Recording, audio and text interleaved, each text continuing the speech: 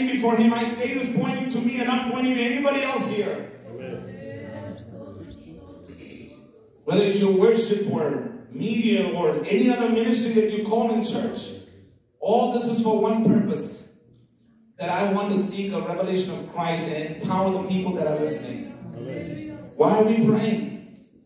Coming back to the same question.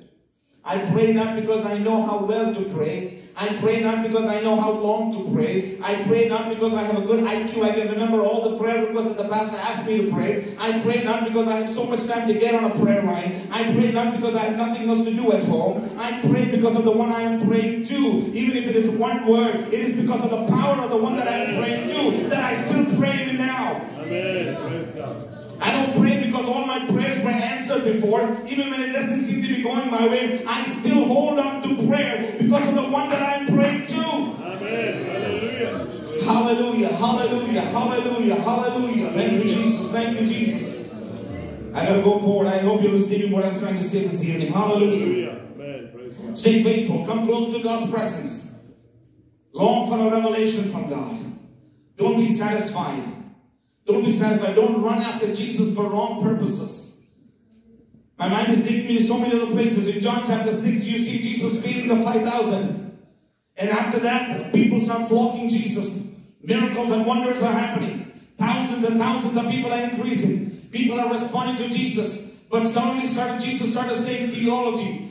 Jesus starts saying hard words about his body and broken and eating flesh and some gross thing. This doesn't make sense to me. John 7, John 8, it comes even harder, it goes deeper, and people slowly start leaving because this is not what we came here for.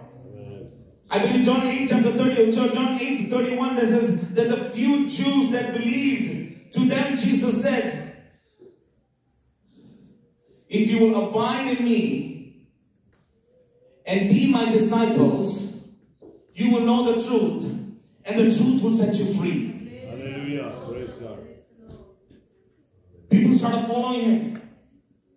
I believe further down, further down, I think it's verse 32, Jesus says, You are all coming because you are expecting, you are satisfied because of certain things I did. Just to paraphrase it. അപ്പം കൊണ്ട് തൃപ്തരായതുകൊണ്ടല്ല ഇങ്ങനെ തടിച്ചു കൂടുന്നത് നിങ്ങൾ അടയാളത്തിനല്ല വന്നേക്കുന്നത് I'm asking for a broken generation that's longing for a sign from God. Not for some material blessing or some certain things to see certain things happen the way you want to happen in church. A true revival happen in my heart first to God. Hallelujah.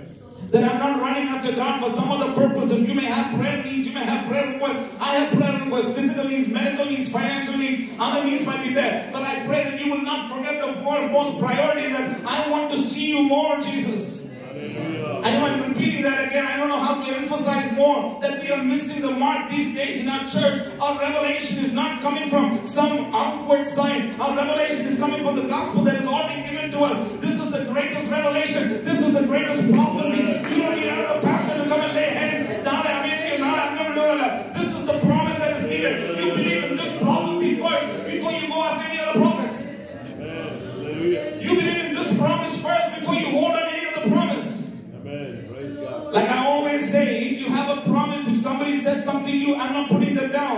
But don't run after that, putting your promise keeper away. Somebody said something on your life that might be true, but don't start turning your life and planning because that person said, I'm going to go to medical school. I've had to sit hours with young, young people that have left church because of these kind of situations. Because some person came and laid hands and said, you will go to pharmacy school at this particular school and it didn't work. They didn't go to medical field at all. Why? Because the rest of your life you turn running after that promise. Not that prophet was wrong with the promise. I'm not questioning that. But don't run after promise without running after the promise keeper. Amen. വാഗ്ദത്തം ച- ചെയ്തവൻ വിശ്വസ്തനെങ്കിൽ വാഗ്ദത്തം പറഞ്ഞതിന്റെ പുറകെ പോവുക അവന്റെ ജോലിയാണ് It's his his prerogative. It's his responsibility to make the promises happen. Amen.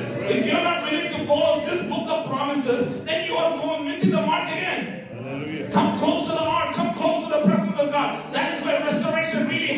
these. Hallelujah. Hallelujah. Jesus. Amen. Praise God. Stay faithful. Come close to the ark. Long for a revelation. Finally, be willing to change. Amen. Praise Be willing to be obedient. Praise God. We always say that Samuel, You did not recognize God's call. He heard God's call. He didn't know it was God. That's what the problem was. He heard the voice. Some of us saying, Lord, help me to hear your voice. He's been speaking quite some time. You haven't recognized it yet. God called Samuel four times. He heard all four times. He only responded once. Who helped him? The one who had been blaming all this while. The one who had been complaining all this while. The one place you have been pointing fingers all this while. Who am I and you to judge and question what people are about? You have no idea what God is going to do through who. You just stay faithful just to go along with what the man of God already mentioned.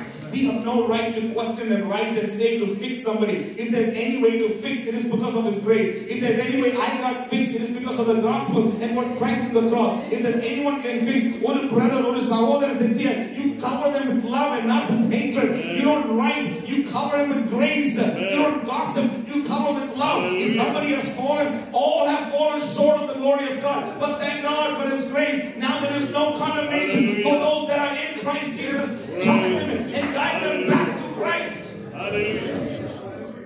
Amen. Praise God. This happened in Eli, that the whole community, the whole land has been given up. Why? Because ವಚನವಿಲ್ಲ ದರ್ಶನವಿಲ್ಲ ಯಾರ ಉತ್ತಮ pastor ಉತ್ತಮ They have given up on this pastor. There's no purpose in his leadership. There's no purpose in this community. This generation is lost. This old generation does not understand what we're trying to say. Trust me, I know this lingo. I have heard it. I have complained before. But these words, when you're willing to let the Lord speak to us, realize that it is not a generation that changes you. It is the one that is above all generations that changes your heart. So Samuel was still willing to stay faithful in that temple, not knowing what he's doing. And finally, he is about to hear God's word. He goes back to the same mentor that has been guided. Not because the mentor is perfect, but the mentor realizes what the word. Amen. Hallelujah. The mentor says, next time he calls, respond. Here I am. Speak to me. It is a place of admission. It is a place of vulnerability.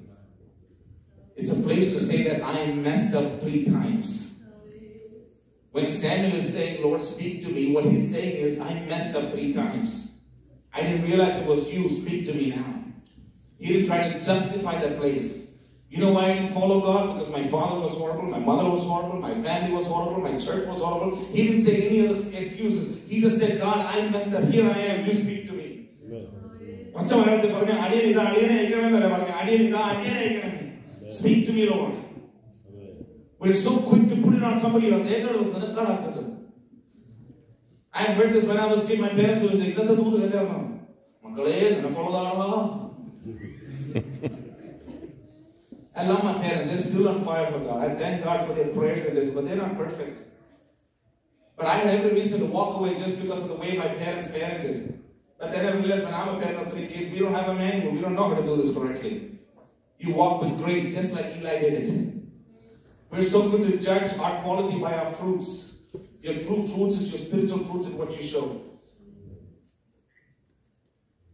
I know it's 8.50. I'm way past the time that was given to me. Would you stand up where you are this evening? Amen. Hallelujah. Thank you.